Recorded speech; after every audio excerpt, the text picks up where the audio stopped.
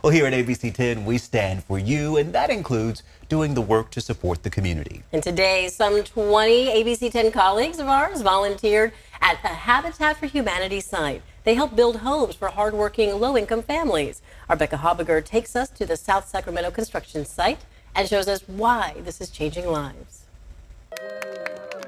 At the start of a day of volunteering Wednesday morning, future Habitat for Humanity homeowner Shavonda Pitts called up her fellow future homeowners. I'm very proud of you guys. No matter what it took to get here, you guys have made it. All of the families participating in this affordable homeownership program are low income and currently living in substandard conditions. It's just unsafe environment. There's a lot of uh, gun violence there um, over the years. Pitts is a single mom of three working full time, and yet she and all these future Habitat homeowners are each putting in the required 500 hours of so called sweat equity, working right alongside volunteers on Habitat homes. We started back in October. By the end of this week, I should have about 486 hours.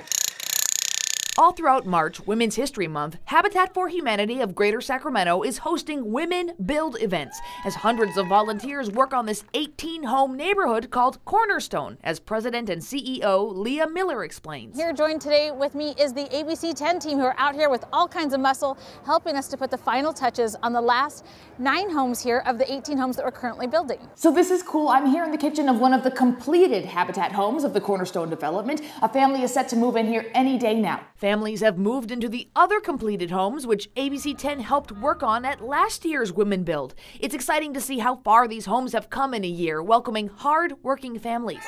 This year, ABC 10 is working on the final nine homes of this neighborhood. These homeowners are set to move in sometime this summer. I'm appreciative of the opportunity, and we just can't wait to get there and, you know, might run through the house and say this is ours because we did it. And I say we because it was a joint effort.